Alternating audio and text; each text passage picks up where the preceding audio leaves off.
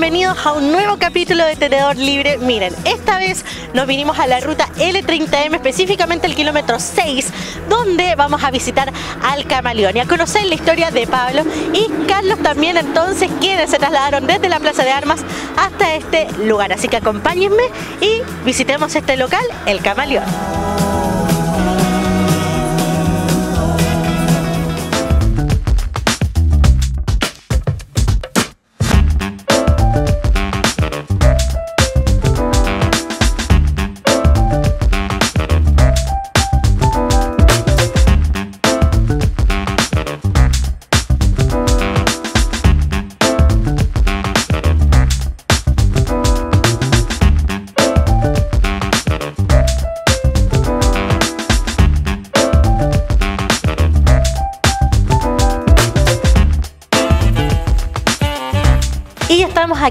Dentro del camaleón y para eso estamos con nuestro amigo Pablo que va a conversar con nosotros. Pablo, mucho gusto primero que todo y muchas gracias por recibirnos aquí en el local. Hola, muy buenas tardes. Gracias a ustedes por venir.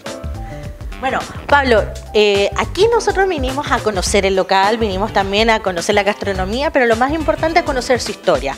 Hablemos un poquito de cómo nació este local. Bueno, este restaurante eh, nació hace alrededor de 60 años prácticamente. Los dueños originales, la señora Rosa con su marido, luego continuó también con su hija. Y en la parte eh, inferior abajo ellos tenían un restaurante con vista al río. Y bueno, a medida que esto fue creciendo, vino una inundación que les inundó y, y- construyeron este restaurante que eh, a pasar el tiempo y, y ganó mucha clientela, lo ampliaron y hicieron el otro comedor.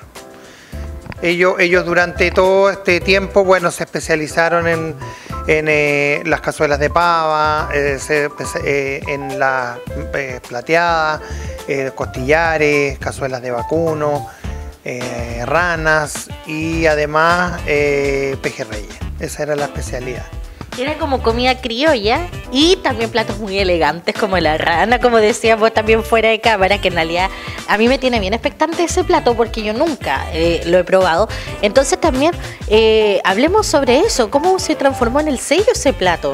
Mira, el sello lo, lo creó la señora Rosa Parra.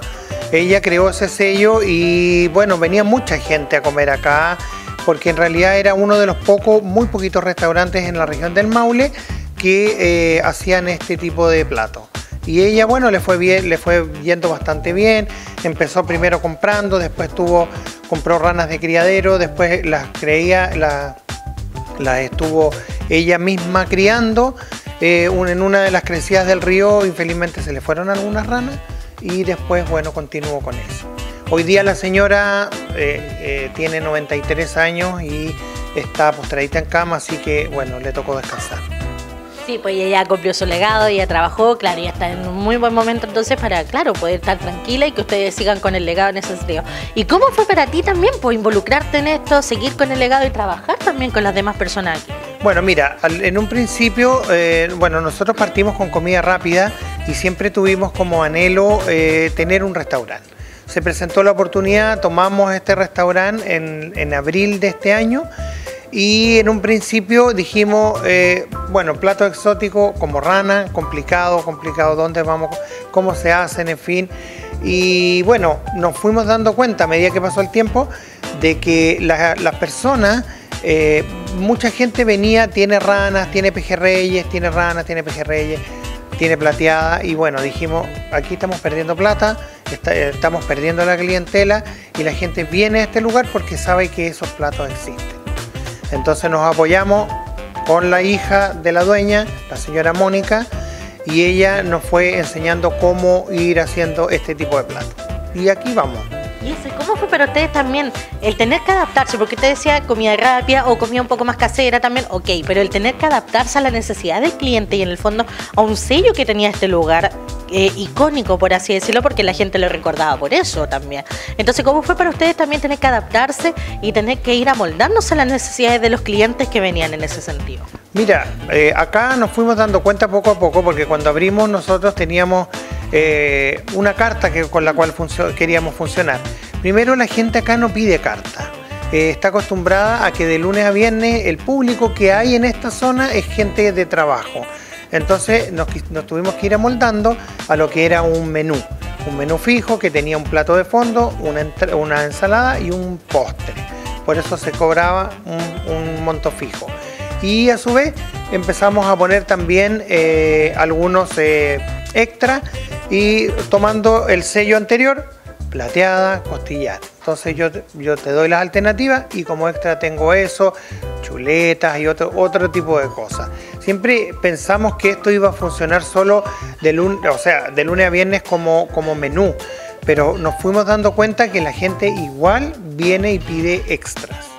Los chanchos en piedra, otro legado de este lugar. ¡Qué maravilla! Y eso también fue, bueno, yo quizás lo comí en alguna oportunidad, pero no lo preparé. Y bueno, nos fuimos aprendiendo y hoy día, bueno, eh, también es un legado acá. Tortillas de rescoldo y chancho en piedra. Eso no se puede perder. No se tranza con eso. Es que, es que ¿quién puede negarse al chancho en piedra, la tortilla de rescoldo? O sea, un crimen la persona que se niega a eso. Ustedes tenían que continuar. No había otra posibilidad. No había otra, no, no había otra posibilidad. Cuando tú... demanda. Sí, día a día te dabas cuenta que efectivamente la gente entraba acá al local y te decía, tiene pejerreyes, tiene rana, eh, hay chancho en piedra. Chuta, yo decía, es como complicado, porque claro, veníamos de un estándar de decir churrasco completo, lomito, y eso, y hasta ahí llegábamos, donde manejábamos muy bien el tema. Y bueno, hoy día, gracias a Dios, poco a poco hemos ido manejando bastante bien esto. A pesar de que estamos, bueno, en un momento un poco difícil, donde el, movimiento es un poco más bajo, pero ya se mejora el tiempo y, el tema va a ir caminando mejor.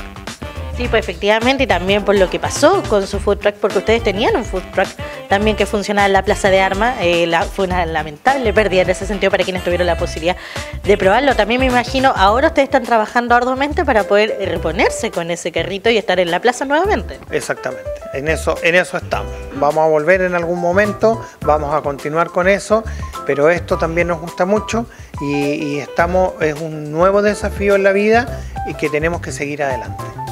Eso es lo más importante. Y en este caso me gustaría también consultarle cómo ha sido esto de emprender, de decir como ya, yo me voy a dedicar a esto, vamos con los pros y los contras que tiene emprender, tener un negocio. ¿Cómo ha sido eso también para ustedes? Mira, no es fácil emprender, pero también tiene su valor el ser dueño de su propio tiempo y de su propio negocio. Nosotros cuando partimos con el carrito partimos vendiendo muy poquito, nos costó mucho, queríamos llegar a la Plaza de San Javier, fue difícil, postulamos para un verano, quedamos ahí y nos mantuvimos ahí. Nos fuimos ganando poco a poco la clientela, nos vino la pandemia, fue muy difícil, había miles de restricciones. Y bueno, siempre vimos que tenemos que tener un restaurante, tenemos que crecer, tenemos que crecer. Tenemos otros proyectos en mente más adelante. Nos encantaría, por ejemplo, después de un restaurante, tener un centro de eventos, donde, donde en el fondo, ¿qué hace? Eh, eh, haces un conjunto de todo lo que quiere. Comida rápida, restaurante y centro de eventos. ¡Ay, qué maravilla! O sea, imagínense tener todo ahí mismo para que la gente pueda contratar un servicio completo, pueda celebrar cualquier tipo de actividad, me refiero a matrimonio, bautizos, cumpleaños incluso también, o algunas empresas que les gusta hacer como estos días de eh, días divertidos, se van a almorzar a otro lado, también eso, ustedes aspiran entonces a hacer una alternativa en ese sentido para San Javier y los alrededores. Sí, claro, por supuesto. Bueno, tenemos alguna, hemos tenido algunos almuerzos de empresas, hemos tenido algunos almuerzos de gente de la municipalidad que han venido para acá y bueno, eh, ahí estamos, dándole, dándole, dándole día a día, día a día, sin, sin poder ni siquiera eh, tener la opción de decir no. Aquí vamos, arriba, arriba, arriba, arriba. Sí a todo. Sí a todo. Por eso estamos aquí. Vivimos, vivimos, sí, vivimos un momento difícil. La, plata, la gente está escasa, eh, hay harta, harta falta de dinero, pero aquí estamos tratándole, dándole, dándole con todo el ñeque posible todo el que posible. De alguna forma hay que, hay que seguir arriba. Hay que darle nomás, pues, hay que darle fuerte y derecho para adelante porque si no, para atrás no rinde, ¿cierto? No, se ridículo para el lado, en este caso te nombró algo súper importante que tuvo que ver con la pandemia. En este caso, usted me dijo fue súper complicado, miles de restricciones también. ¿Y cómo lo hicieron ustedes como para poder seguir quizás y tratar de alguna forma mantener lo que era este negocio? Mira, acá nosotros todavía no, no teníamos el restaurante, nosotros teníamos con el food truck. con el food. Y eh, afortunadamente este food truck era el único food truck que había en la plaza que tenía ventana. De una ventana que aislaba el contacto del cliente con el, con el, en el fondo el, dueño o, o quien estaba preparando.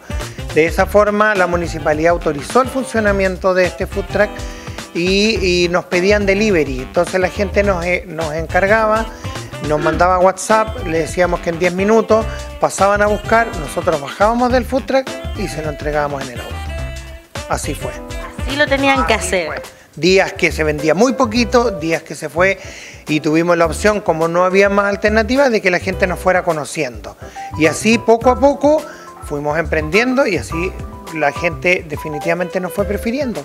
Pues. Y allá yo le voy a hacer una consulta porque yo no tuve el privilegio de probarlo, pero mucha gente, ustedes los conocía ya por el completo XL.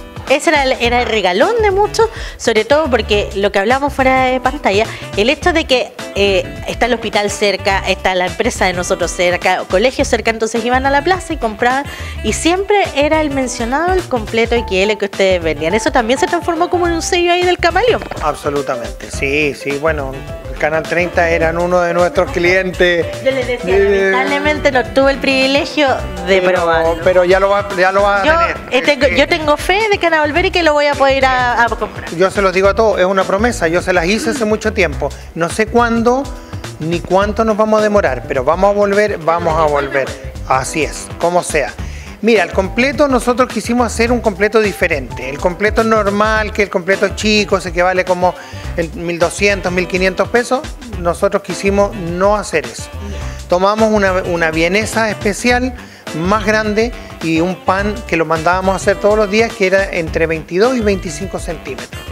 Ese pan con esa vienesa grande le poníamos tomate pelado, picado, que la gente valora eso. Nada de triturado, era picado. No, ni sin cáscara, ni sin pedúnculo, sin nada.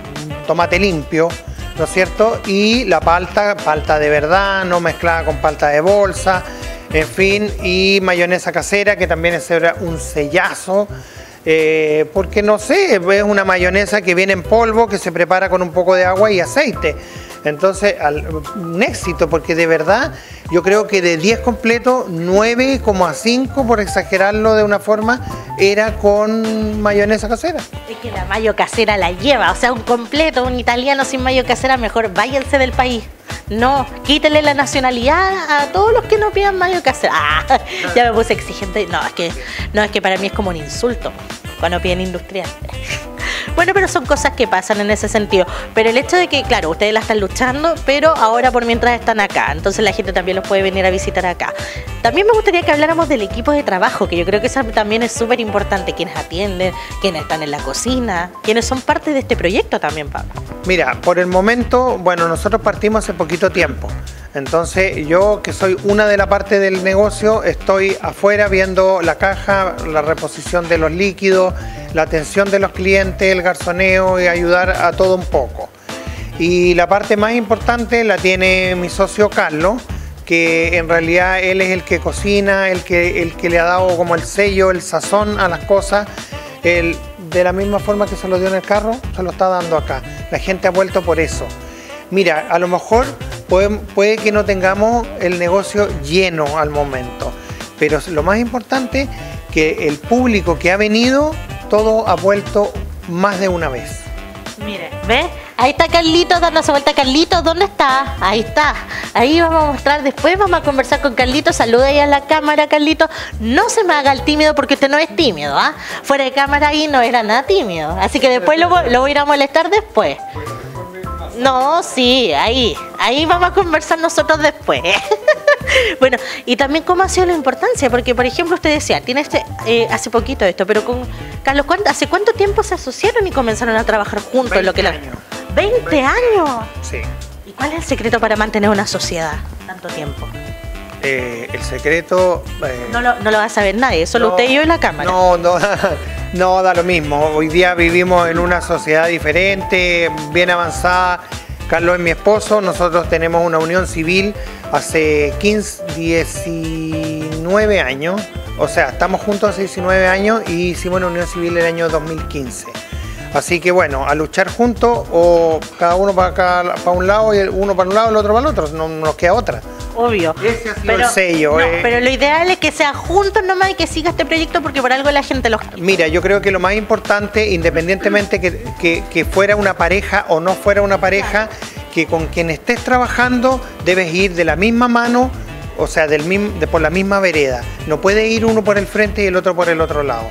O sea, ese es el objetivo. El objetivo es luchar de, de frentón para, para, para uno eh, conseguir el objetivo que quiere, pero juntos. O sea, no, no que uno se quede atrás o que se haga, no.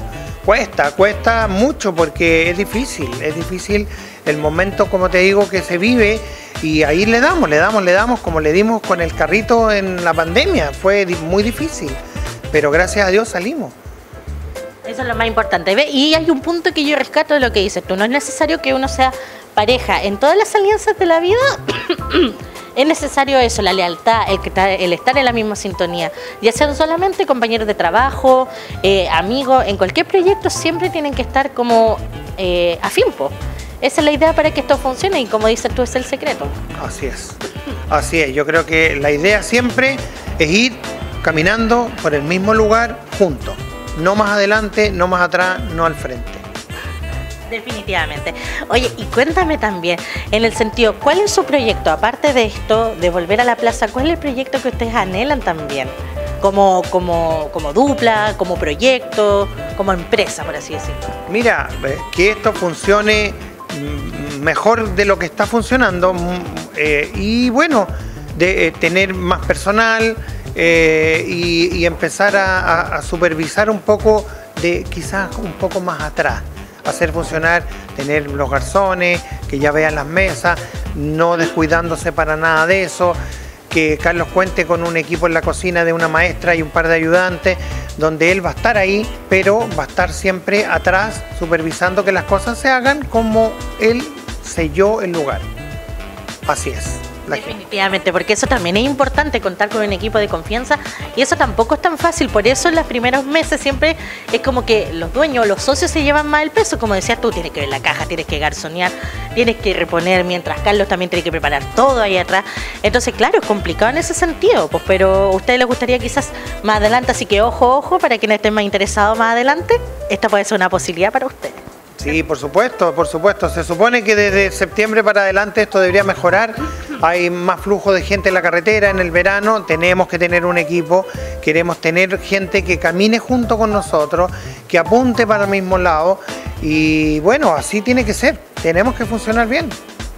Y hablando de septiembre, ya que ya hay olor a septiembre, vemos banderas, todo. Se viene menú de, menú de- o sea, menú, perdón, 18 La gente va a poder encontrar todas estas comidas típicas también con el chancho en piedra, todo lo que conlleva eso. Por supuesto, chancho en piedra, tortillas de rescoldo, eh, plateada, carne mechada. Buena cazuela. su buena cazuela de vacuno, eh, vamos a tener costillar de cerdo, eh, pan amasado, Toda- todas estas carnes que, de las cuales les hablo, aquí mi socio las hace en el horno de barro con su tiempo de cocción y todo. Bueno, los secretos que tiene, yo los conozco poco en la parte de la cocina, No, pero esos son de. pero que tiene, que tiene, que tiene su sazón y su sello está marcado. Carlos, vamos a ser mejores amigos ahora. Y no me no espero, o sea, me da lo mismo si me dice que no. Yo lo voy a obligar. Es que si me ofrecen pan amasado, salió recién del horno, ¿quién se puede resistir a eso? O sea, una persona como yo que hace programas culinarios tiene que tener un amigo que le cocine pan. Así que, Carlos, ahora vamos a ser best friend forever. ¿Le quedó claro? Que espero que sí. Ah, mientras yo lo apunto con mi pistola. No. ¿Podemos ser mejores amigos también? Por supuesto. ¿Ves? No, cuando, los que quieran, cuando quieran, aquí los podemos recibir con harto cariño. Sí, pues porque yo después quiero volver para acá, los quiero ir a ver a la plaza, yo los quiero ver en todos lados, porque eso es lo que a mí me gusta, que toda esta gente que sale aquí en el programa, que cuenta su historia, porque no solamente nos abre las puertas de su cocina, sino que nos abre la puerta de su corazón, de su historia, y algo que yo también valoro. Entonces por eso mismo yo siempre les deseo el mayor de los éxitos en ese sentido y que, y que apunten para arriba y que la gente también los prefiera. Y han sido cambios fuertes porque, bueno, nosotros, yo partí trabajando en LAN eh, 20 años como tripulante de cabina, volé por todo el mundo hasta que pedimos la baja. Eh, Carlos era, eh, bueno, él estudió gastronomía y era el asistente del gerente, gerente de operaciones de carga Sudamérica. En el aeropuerto también él trabajó nueve años. Y después tuvimos un proyecto nuevo que era una tienda náutica donde vendíamos embarcaciones y, accesorios náuticos en el lago Rapel. Nos fue muy bien, pero infelizmente, bueno, a quien le habíamos arrendado no era el único dueño, se metieron otros dueños y lo tuvimos que liquidar. Y nos vinimos a Talca y en Talca comenzamos trabajando en una cafetería con la, persona que nos arrendaba una casa en el lago Rapel. Y bueno, así fue como salimos a comer algo el día que nos cambiamos, no encontramos nada y dijimos, esto vamos a hacer. El carro de comida. El camaleón se partió arrendando, no teníamos plata para comprarlo. Poco a poco le pagamos arriendo, arriendo, arriendo, arriendo y el dueño nos dijo, bueno, se los vendo. Tuvimos tres años pagándolo. Tan contento, claro, porque se terminó. Fue una hipoteca, fue un hipotecario, por así decirlo. Fue un hipotecario, lo terminamos de pagar y bueno, y aquí estamos, como te digo, algún día eh, tendremos una propiedad como esta, quizás esta, quién sabe. Luchamos para poder decir, mañana, pasado, tengo 60 años, puedo estar tranquilo porque donde piso es mío. Eso, eso es lo más importante. Eso es lo más importante. Querido mío, ya que somos mejores amigos también, necesito pedirle algo porque yo soy curiosa y la gente que está viéndonos en la casa también es curiosa. Y ahora nosotros queremos pasar a la cocina, po. ¿Nos da autorización? Vamos, adelante, encantado, vamos nomás, no hay problema, cuando quieras. Perfecto, yo ya vine con la coleta, pero bien languetía, bien amarrado el pelo, obviamente. Y ahora vamos a ir a una pequeña pausa comercial aquí en Tenedor Libre y vamos a volver a la cocina ahora para que Carlitos nos deleite con una preparación que ahí nomás se las dejo. Vamos volvemos.